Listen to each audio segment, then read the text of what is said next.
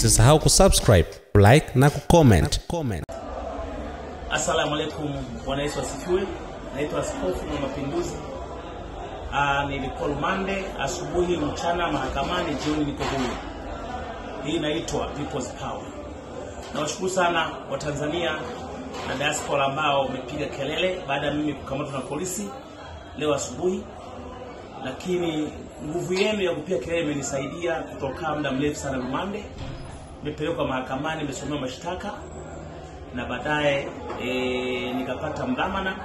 Nipangiwa tena tarehe kumi na nne mwezi wa nane kuripoti e, kwenye mahakama ya mkoa, lakini niwashukuru sana People's Power imefanya kazi hii, tuendelee kushikana na hii kama ambao sisi wapiganaji hatujawahi kuwasaliti jamii, na ninyi jamii pia msitosaliti. Aluta continue.